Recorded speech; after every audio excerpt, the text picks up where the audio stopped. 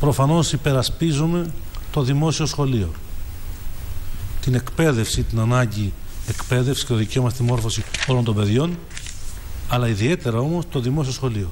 Αυτή είναι η δουλειά που πρέπει να κάνουμε ως Υπουργείο Παιδείας. Αναμφισβήτητα το ιδιωτικό σχολείο δεν είναι μια από τις συνηθισμένες επιχειρήσεις, δεν είναι σούπερ μάρκετ. Και γι' αυτό, όπως είπαμε και στις προγραμματικές δηλώσεις, ο έλεγχος των ιδιωτικών σχολείων και των εργασιακών θεμάτων των ιδιωτικών εκπαιδευτικών θα περάσει από το Υπουργείο Εργασίας στο Υπουργείο Παιδείας. Όπω ήταν πολύ παλιά, πριν επικρατήσουν οι αντιλήψεις των σχολείων που είχαν περισσότερο αγοραία αντίληψη ε, οι διάφορες κυβερνήσεις παρά όπως είπατε εσείς εκπαιδευτική λειτουργία. Επίσης πρέπει να σας πω ότι οι, διάφορες, ε, οι διάφοροι περιορισμοί που υπήρχαν θετικά μέτρα υπέρ των ιδιωτικών εκπαιδευτικών ότι θα μπορούσαν να πηγαίνουν στο δημόσιο κλπ είναι ένα σύστημα που υπήρξε ακριβώς διότι η πολιτεία αναγνώρισε την θετική ιδιομορφία της επιχείρησης που λέγεται ιδιωτικό σχολείο. Επιχείρηση είναι τυπικά. Σε κέρδος αποσκοπεί βεβαίως και στη μόρφωση. Δεν πιστεύω ότι είναι, θα λέει κανένας, ιδρύματα μη κερδοσκοπικά. Με την αυστηρή έννοια του όρου είναι επιχειρήσεις. Ουδέν με μεπτών. Γι' αυτό δεν οφείλει το Υπουργείο να ελέγχει, κύριε Υπουργέ. Βεβαίως. Και είπε ότι θα περάσουν τα ζητήματα. Έχουν ξεκινήσει αυτή η έλεγχη, γιατί το νομοθετικό πλαίσιο υπήρξε. Όχι, δεν έχει περάσει ακόμα στο Υπουργείο Παιδείας. Θα περάσει τώρα, θέλει νόμο. Ακόμα και στην Συμβουλή. Θα περάσει όμως. Είναι η λιμένη κυβερνητική απόφαση. Όπως επίσης θα υπάρξουν και, άλλες, και άλλοι έλεγχοι ε, για να δούμε πόσοι εργάζονται. Είναι η μαύρη εργασία στα φροντιστήρια, μεγάλο πρόβλημα. Μπορούν να υπάρξουν έλεγχοι και να έχουμε μέτρα και υπέρ των εργαζομένων εκπαιδευτικών αλλά και υπέρ των παιδιών που πηγαίνουν εκεί. Για το 23% δεν κρύβω την ε, αντίρρηση ότι η επιβολή 23% στο σύνολο της ιδιωτικής εκπαίδευσης αδιακρίτως είναι ένα μέτρο το οποίο απομακρύνει την Ελλάδα από την ευρωπαϊκή πραγματικότητα και τελικά είναι κοινωνικά άδικο. Για δύο λόγους. Ο πρώτος διότι η μεγάλη κατηγορία ε, των σχολείων της, των, των μονάδων της παράλληλης εκπαίδευσης δεν μου αρέσει να μιλάω για παρα, παρεκπαίδευση όπως το λέμε και όχι, είναι πιο σύνθετο το θέμα δεν θα το απαξιώνω ε, αυτές οι σχολικές ε, μονάδες της παράλληλης εκπαίδευσης καλύπτουν αδυναμίες και κενά του δημόσιου σχολείου. Είτε είναι τα φροντιστήρια ξενογλωσσών είτε είναι τα οδεία, είτε είναι οι σχολές χορού, είτε είναι τα φροντιστήρια για τα πανεπιστήμια, είτε, είτε, είτε. Άρα δεν μπορούμε να τιμωρούμε την ελληνική οικογένεια η οποία δίδει από το ειστέρημά της για να αποκτήσουν τα παιδιά αυτά που δεν τους δίνει το δημόσιο σχολείο. Και πιστεύω ότι εκεί το 23% είναι οφθαλμοφανώς και κοινωνικά άδικο. και μπορεί να προκαλέσει και μπορεί να προκαλέσει μεγάλες κοινωνικές επιπτώσεις με, να κλείσουν ε, σχολιά, να υπάρχει ανεργία. Τα ξέρετε αυτά. Το δεύτερο, στα τυπικά ιδιωτικά σχολεία. Και εκεί πιστεύω ότι το 23% είναι ένας φόρος ο οποίος όταν γίνεται αφού έχει γράψει όλα τα παιδιά του σχολείου στη μέση της σχολικής χρονιάς έχει κάνει τον προγραμματισμό του είναι ένας φόρος ο οποίος θα προκαλέσει προβλήματα δεν έχω κάποια μεροληψία και δεν έχω και κάποια προκατάληψη απέναντι στην ιδιωτική εκπαίδευση. Δεν πήγα σε ιδιωτικό, σχολείο, δεν επέλεξα να πάει και η κόρη μου σε ιδιωτικό σχολείο.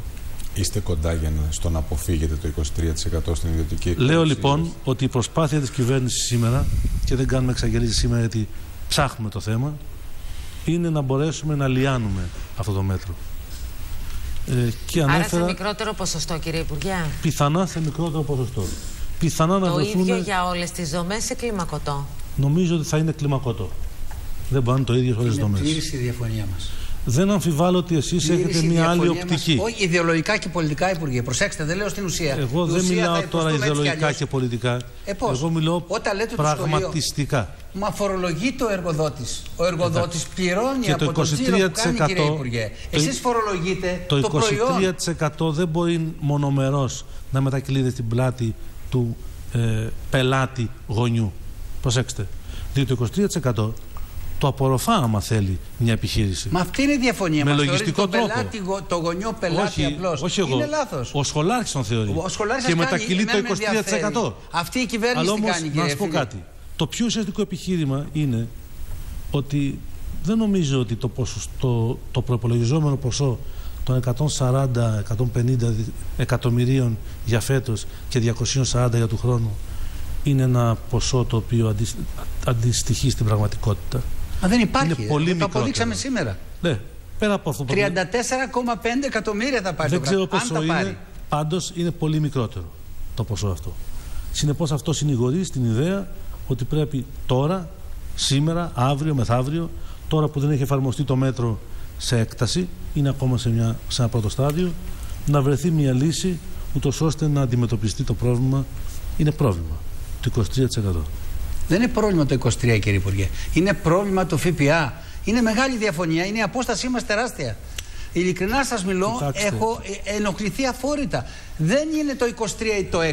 Όχι. Είναι το ΦΠΑ Εγώ στη έχω γνώση. ενοχληθεί, με Ο το, κύριος έχω Κουράκης. ενοχληθεί με την κατάσταση του Αγίου Δημητρίου. Αυτό είναι ενόχληση. Εγώ είμαι κοντά. Έτσι. Ακούστε με, κύριε Μη- Υπουργέ. Μη χαλάμε την Απευθύνεστε- έννοια των λέξεων. Ακούστε, το κύριε ξέρω, γι' Υπουργέ, αυτό λέω. απευθύνεστε στην Το άλλο, ευαισθησία- το 23%. Έχω κατηγορηθεί υπό ορισμένες επανειλημμένως. προϋποθέσεις είναι ένα θέμα το οποίο εντάξει. Κύριε Υπουργέ, έχω Τσιμπάει, κατηγορηθεί το καταλαβαίνω. επανειλημμένω. Θέλω να με ακούσετε, ειλικρινά σου μιλώ. παρακαλώ. Γιατί ενδιαφέρομαι πιο πολύ για το δημόσιο σχολείο από ότι και το ιδιωτικό. Ναι. Έχω κατηγορηθεί και από τους εργοδότες και από άλλους πολλούς. Αλλά Η για να πραγματικότητα επανέλθω. είναι σκληρή της δημόσιας εκπαίδευσης. Αλλά με το να βάζετε τη σφραγίδα σα, τον νόμο του Αρβανιτόπουλου, δηλαδή τη διάθεση και την πρόθεση να καταστήσει επιχειρήσεις στα σχολεία, είναι λάθος μεγατόνων. δεν, Θα το αφορά- δείτε συνέχεια. δεν έχει σχέση με τον νόμο του κυρίου Αρβανιτόπουλου. Έχει, δε- την όταν, πρόθεσή του σας μεταφέρουμε είπα. την, όταν μεταφέρουμε την Ναι. εποπτεία και των εργασιακών σχέσεων από το Υπουργείο Εργασίας στο Υπουργείο Μα δεν το Παιδείας, συνδέω είναι άλλο εγώ, θέμα. κύριε φίλη. Κύριε είναι άλλο φίλη. θέμα. Κύριε Σχολιά Υπουργέ. είναι και αυτά. Έτσι θα αντιμετωπίζουμε. Υπάρχει μια- και Δεν τα επαναλαμβάνω, αντιμετωπίζω σχολιά. χωρίς κανέναν Τον καημένο ταξικό το γονιό. φόνο. Μην Ξέρετε, στεναχωριέστε. Κύριε Να δώσουμε Υπουργέ, το λόγο και στον κύριο Λακασά. ένα ο οποίος λεπτό δεν κύριε έχει Χαρίτο, μιλήσει είναι καθόλου. πολύ σημαντικό. Αν δείτε τους γονείς που φέρνουν τα παιδιά στο 50 με 60% ιδιωτικών σχολείων, θα στενοχωρηθείτε. Είναι γονείς, είναι συνάδελφοι του δημοσίου, είναι γονείς που δεν έχουν και από ανάγκη γιατί εργάζονται και δύο φέρνουν το παιδί στο, στο ιδιωτικό σχολείο. Και αντί αυτοί οι άνθρωποι που πληρώνουν φόρους στο δημόσιο, τους φορολογείς, είναι, είναι, είναι έξω από κάθε. Τι τους φορ- Ο παντού κύριος δεν πληρώνουν- Κουράκης. Δεν πληρώνουν παντού ΦΠΑ οι άνθρωποι. Μα στη γνώση ΦΠΑ, Αυτό το κύριε. συγγνώμη τώρα. Μα γιατί. Επαναλαμβάνω τώρα. ε. Να μιλάμε λίγο Μα τώρα. ΦΠΑ πληρώνει να ο μιλάμε εργοδότης λίγο με το βάση την φόρο του. πραγματικότητα. Παντού δεν πληρώνουν ΦΠΑ οι άνθρωποι. ΦΠΑ στο Κακώς προϊόν, πληρώνουν, προϊόν λέω. είναι η γνώση που μέσα, μέσα στο σχολείο. Κακώς λοιπόν, εγώ δεν είμαι υπέρ του ΦΠΑ. Εντάξει, το είπαμε από την αρχή. Αλλά μην φτιάχνουμε τώρα ένα θέμα αρχής.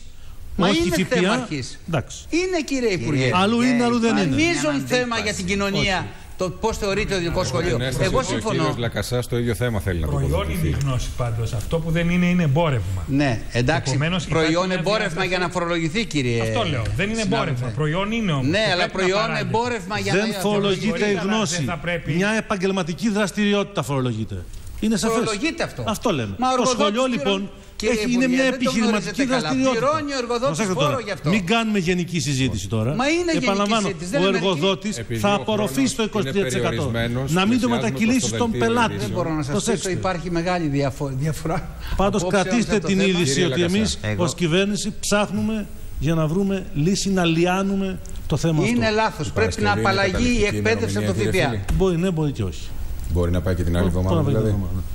Εβδομάδα. Είναι θέμα. Ναι, είμαστε κοντά δηλαδή σε ένα κλιμακωτό ΦΠΑ 6% για τα φροντιστήρια και 13% για τα ιδιωτικά σχολεία; Δεν μπορώ να σας πω που είμαστε, διότι αυτό έχει να κάνει και με τη συνεννόηση με την Ευρωπαϊκή Ένωση. Διότι, για παράδειγμα, τα παιδεία που για πρώτη φορά τίθενται ε, σε φορολόγηση μπαίνουν στο 23%.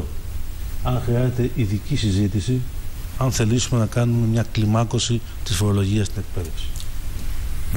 Υπάρχει Κύριε ευρωπαϊκό κράτος, κύριε Υπουργέ, που πληρώνει ΦΠΑ η ιδιωτική εκπαίδευση; Πετε μου Όχι, δεν ένα. υπάρχει. Πουθενά. Το είπε και ο Η Ευρωπαϊκή Ένωση σήμερα μιλήσαμε με το απήντησα. Advisory Group. Σας Λέει, απήντησα. κύριε Υπουργέ, σας διαψεύδει. Λέει ότι δεν επιτρέπεται να βάλει ΦΠΑ στην ιδιωτική εκπαίδευση στην Ελλάδα. Μου επιτρέπετε να σας απαντήσω. Κύριε Υπουργέ, Σας είπα. Μπορείτε να μου πείτε σε ποια κράτος της Ευρώπης υπάρχει ιδιωτική εκπαίδευση; Υπάρχει. Γιατί το λέω. Ελάτε τώρα. Θρησκευτική, Ελάτε. εκκλησιαστική υπάρχουν. εκπαίδευση. Ελάτε Υπάρχει, τώρα. υπάρχει, Φροντιστήρια υπάρχει. υπάρχουν. Ναι, Φροντιστήρια βεβαίως δεν κύριε υπάρχουν. Όλα Καθηγητά. είναι αποτέλεσμα της σαφρή τρόπους με τον οποίο Συμφωνούμε βγάζει. Των Αν στρεβλώσεων γίνουν εδώ. καλά τα Αυτό δημόσια συμφωνώ σχολεία θα απόλυτα. τελειώσει αυτή η ιστορία. Και για το θέμα της Κύριε γλωσσομάθειας καθηγητά, που είπατε, όπου εμείς το στο σύστημα δημόσιο το σχολείο έχουμε εξεταστικό πρόγραμμα είναι για να ανταγωνιστικό, υπάρξει υπάρχουν ένα, κρα... ένα φροντιστήρια κρατικό και στη τίτλος Γερμανία πτυχίο και σε γλωσσομάθειας. άλλες Θα σας ευρωπαϊκές απασχολήσω χώρες. σύντομα, Παρακαλώ να μην μιλάμε όλοι μαζί. Σύντομα, Παρακαλώ κύριε να μην Υπουργέ, μιλάμε όλοι μαζί. Παντού, σε όλες αυτές Εκπροσωπώ τι τον τεράστιες Ευρωπαϊκό επιχειρήσεις φροντιστήριων. Λοιπόν, Και θα δείτε κύριος τι είναι Λακασάς. αλήθεια. μέση ο εκπαίδευση οποίος- και στη δημοτική. Ναι, ναι, ναι. Ο ναι. κύριος Λακασάς. Νομίζω ότι ε, ε, έχουμε μια εικόνα